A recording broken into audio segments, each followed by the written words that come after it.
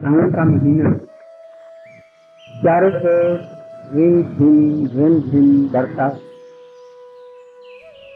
घुमड़ कर चारों ओर बादल छा रहे हैं।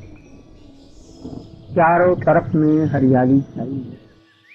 यमुना में भी निर्मल, सुंदर मीठा जल भरा है। कमल के फूल उसमें लहरा रहे हैं।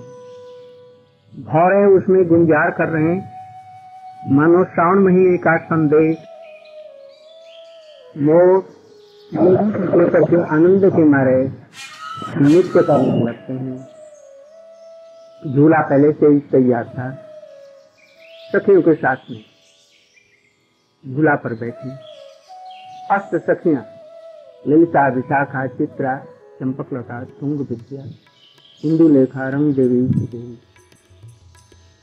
और उनकी अपनी प्रधान सखियाँ रूप मंजरी रति मंजरी लौम मंजरी इत्यादि। मानो पहले से इसके लिए प्रस्तुत थी। सखियों ने मल्हार राज के साथ में कृष्ण को झूलने पर बैठाकर और उन्हें झुलाने लगे। ज़ोर से झुलाने लगे। राधिका जी ने उनको आलिंगन पास में बद्ध कर लिया। जैसे कि गिर ले जाए। और कृष्ण की मुराद ऐसे पूरी हुई।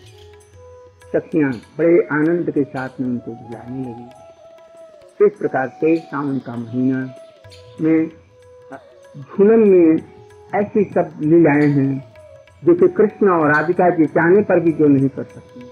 वो झूलन में झूले पर वो सब लीलाएँ उनकी होती हैं।